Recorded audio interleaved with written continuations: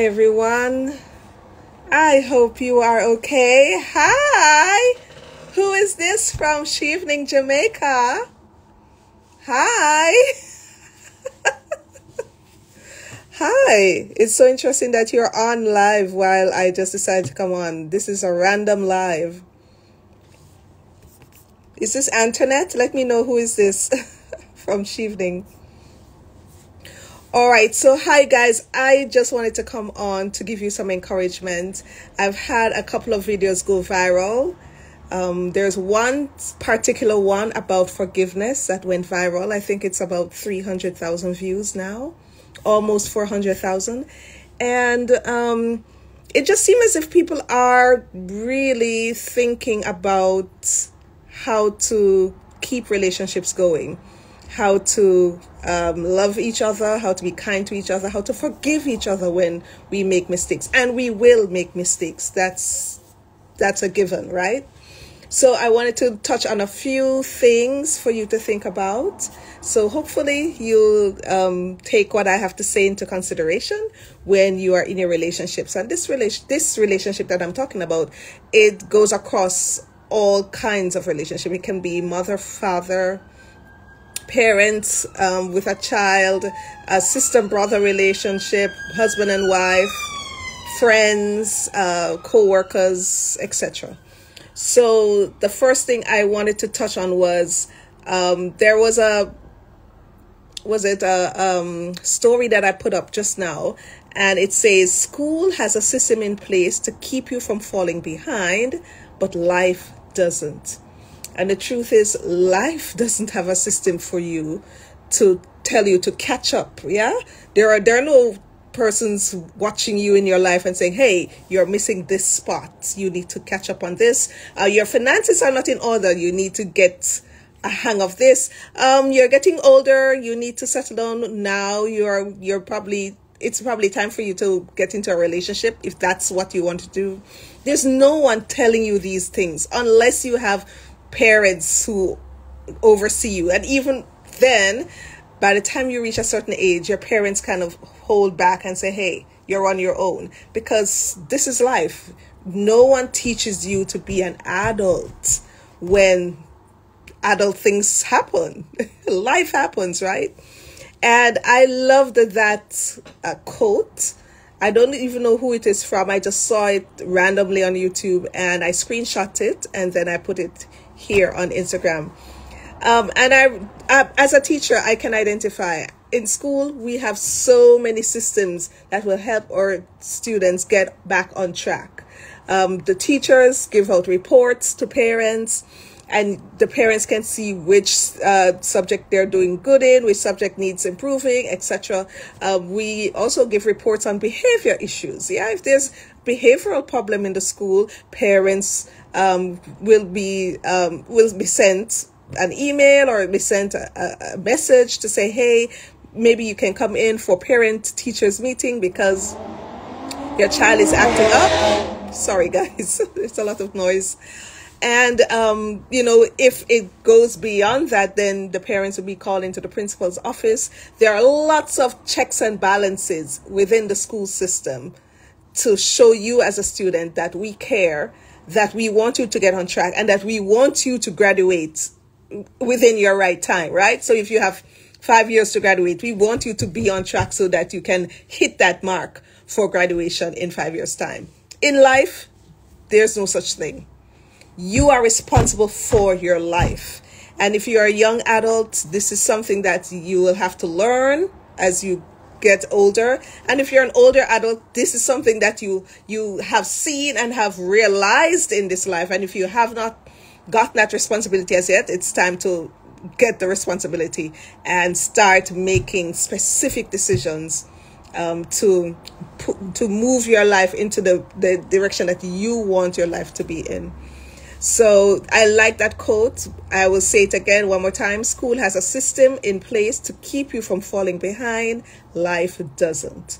All right. Another one that I like to talk about um, is the best way to stop doing bad things we hate is to feed our spirit with good things. Now, we all do things that we don't like. Yeah. Um, and if you're Christian, I am one. As a Christian, I will always say, um, my heart is willing, but the flesh is weak. That's something that we always say.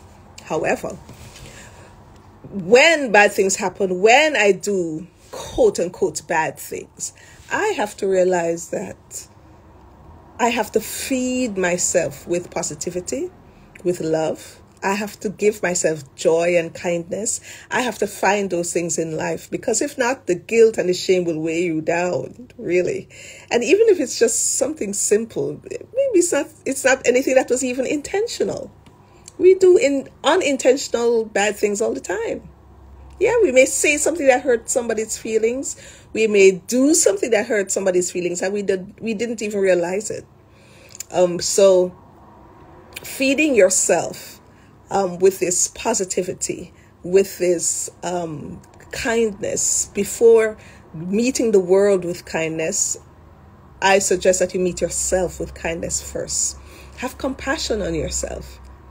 Just like you have compassion with the people in this world, or sometimes you'll watch something on Instagram, YouTube, Facebook, TikTok, and you'll see something heartwarming and touching, and you'll be like, oh, that's the same way you can look at yourself and be like, mm, I need to give myself a break. I need to give myself compassion. Um, I may say something that hurt someone, but I didn't intentionally mean it. Um, I I didn't have malicious intent when I did what I did. Um, if you have the chance to s- sit down and speak to the person, you can. But if you don't have that chance, then my suggestion is to find find that um, that personal connection within yourself to say I, i'm giving myself kindness i'm giving myself love i'm giving i'm showing myself compassion today. I'm gonna forgive myself because sometimes we really do things that are off the cuff. And we have to forgive ourselves. And it goes it goes right back to the video that i was saying to you was going viral um, the video was talking about the different steps in in um, in which we can forgive someone but I could also say those are steps in which you could forgive yourselves. Yeah. You can forgive yourself in a different ways. And I'm going to try to see if I can find the different steps and tell it to you. I don't know it off the top of my head. I have to go back and find it and then I can show you. All right. Hold on a second. But in while I'm looking for it, um, I'm just saying to you that these uh, these things that we talk about, these things that we seek forgiveness for, we have to instead, instead, and I'm not saying we're not supposed to seek forgiveness from others, but before we even go to others, remember to make sure that you are right within yourself. You forgive yourself. You love yourself. You are helping yourself. You're giving yourself kindness. You're giving yourself grace. You're giving yourself compassion you're giving yourself joy you're you are giving yourself peace and like i just said i am a christian so my peace is founded on the word of god my peace is founded within christ um, but if you are not then um, you have to find where your peace comes from all right um, let me go through the different steps like i said. Okay so four ways to four ways for um, to apologize if you are doing something wrong and you're seeking forgiveness. The man says there are four ways to apologize. First, say you're sorry, explain and say, okay, I'm sorry. You address the person by name because, of course, that makes it a little bit more personal. Second is to acknowledge what you did. Say explicitly what went wrong, what happened, what you did, and um, take responsibility for what you did. Third is state the effect that it has on them. How did your actions, your words, what you did affect the person? And explicitly say it. I, I know this was wrong because it affected you in this way. Um, and then lastly, uh, hold on a second, it's coming up. Ask for forgiveness, of course. So you're going to ask for forgiveness after going through those steps, which is the fourth step. Within the comments, though, you guys were giving eh, eh, you know additional steps i remember somebody said um, a fifth step is to never do it again or change behavior um, and change behavior is easier said than done um, because we're all imperfect beings. We are all human beings. Um, so um, if somebody repeats the same behavior again and again does that mean they don't care? Does that mean they don't take your um, your feelings into consideration? Hmm. um, i would ask you if you if somebody says to you you are doing something that annoys me or offends me and i would like you to stop doing it if you continually do the same thing again does that mean that you don't care or is it that sometimes those things that we do are hardwired in our brains and sometimes it's just not easy to remember just like that. If you see someone making an effort, then that's different.